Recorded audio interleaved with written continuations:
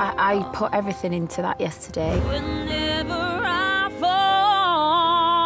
I bared my soul to them, and I'm feeling like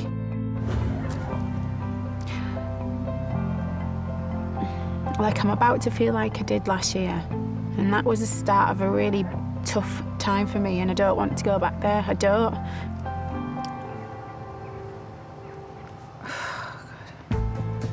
Don't know how I'm going to cope when I'm sat on that sofa with him because right now I just feel like I'm about to faint. I've worked really hard to build myself up and get the confidence to come back. But now I'm here, it's just like I'm petrified.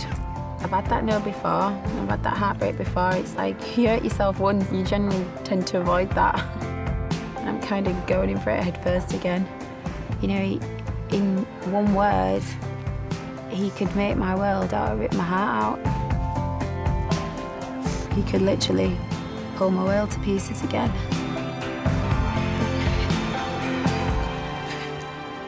Are you getting emotional already? Yeah, I know. I haven't sat down yet, have I? On, sit down.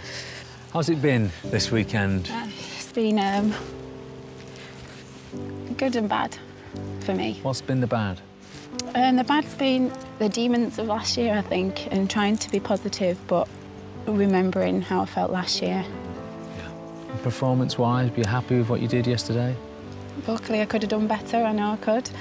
I, I, I battle with my nerves. I think the exciting thing about you is that you have something this competition's never seen before.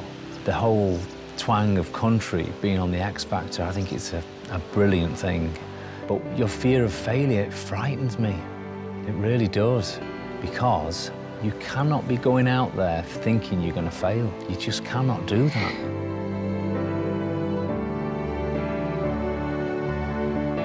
That terrifies me.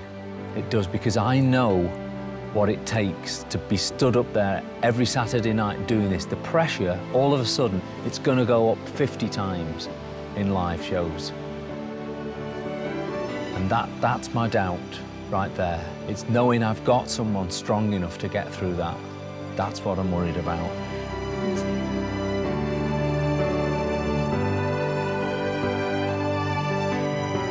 I mean, Karen, it would be awful for two years in a running for you to go out the competition at the same point.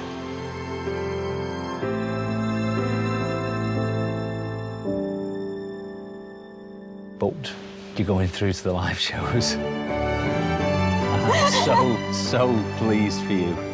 You deserve it so much. And I will do it. of course you can. Okay. Come here. Well done. Well done. Happy?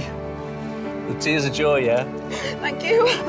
I'm so excited, Karen. I cannot wait to get started. I've just snotted all over you. I'm really sorry. I'll, I'll um, send you the bill for that. oh, my God. All right? Thank you so much. Okay, well done. Congratulations. And I'll see you soon. Thank Very you. soon. Well done.